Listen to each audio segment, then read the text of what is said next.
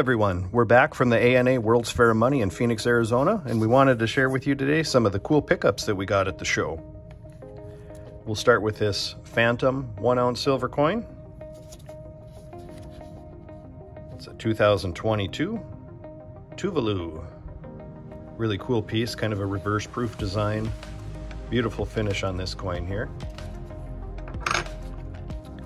Next we have a Canadian Maple Leaf, uh, Privy Mark. Kind of a reverse proof design again, really nice frosty finish. And that's a 2016. For most of these pieces, I was just able to get one. So if you like anything in the video and you're in the area, stop in and uh, come pick them up because they won't last long. I did also get a 2020 one ounce silver marlin. This is a Cayman Islands piece. Once again, kind of a reverse proof frosty design. Really cool. Got another one here. Oops, I should rotate it properly. There we go. This is one ounce silver piece as well. A lot of cool intricate lines on this one. Next we have a one ounce silver Australian dollar. Got an outline of the country of Australia and a lot of cool intricate lines once again on the back. Only got one of each of these guys, so if you like them, feel free to stop. Also picked out a really cool hand-poured two ounce cube. It's about the size of a regular die.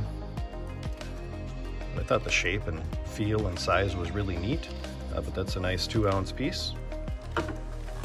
Also picked up about 20 of these. Uh, we got some new one ounce silver bars. If you like that design, be sure to come in and pick some up. They probably won't last long.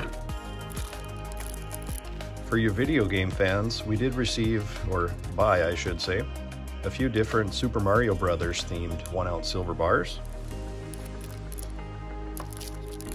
Here's another one here. They're really cool looking, they're colorized. And then here's one with kind of the whole, well, part of the whole gang, I guess.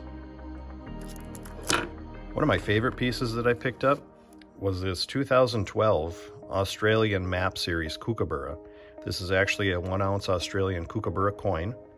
And as you can see, the shape of the coin is in the shape of the map of Australia with a picture of the Kookaburra on it.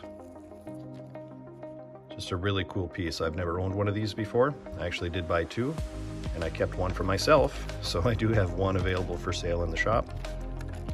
For you Star Wars fans, I did get quite a few new Star Wars pieces here. That's a 2020. Got a Darth Vader.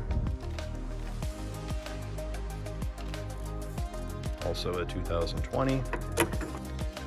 And we got the Mandalorian. And that's a 2021. I did get a couple of each of these, but they won't last long. Picked up 10 of these. Uh, this is the Batarang. It's the Batman symbol. This is actually a government issued piece made by Samoa. Kind of cool. These are $35 each. So I got those in stock. Picked up a nice chunky 25th anniversary 10 ounce kookaburra from Australia. This is a 10 ounce coin. Really nice piece, comes in a capsule. Also, keeping with that 10 ounce theme, we have a Canadian. This is a Canadian piece, 10 ounce silver. Beautiful radial lines on the backside. And the 10 ounce big maple. This is a 2018. All of these come in capsules. Keeping with that Canadian theme, did pick up a certified E equals MC squared privy mark proof deep cameo Canadian maple leaf. It's kind of a cool piece, honoring Albert Einstein's theory of relativity.